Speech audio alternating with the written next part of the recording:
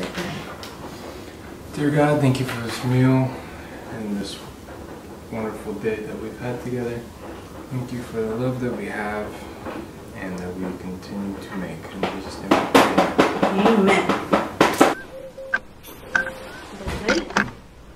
Amen.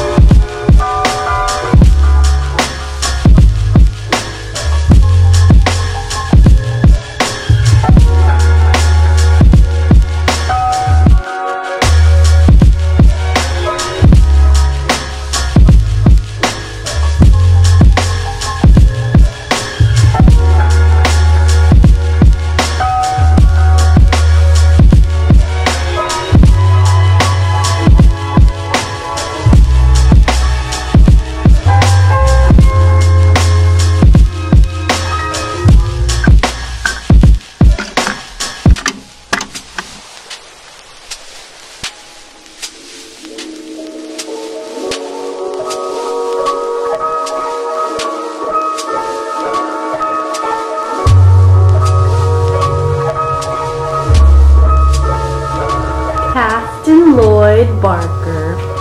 That's gonna be your brother. What do you think?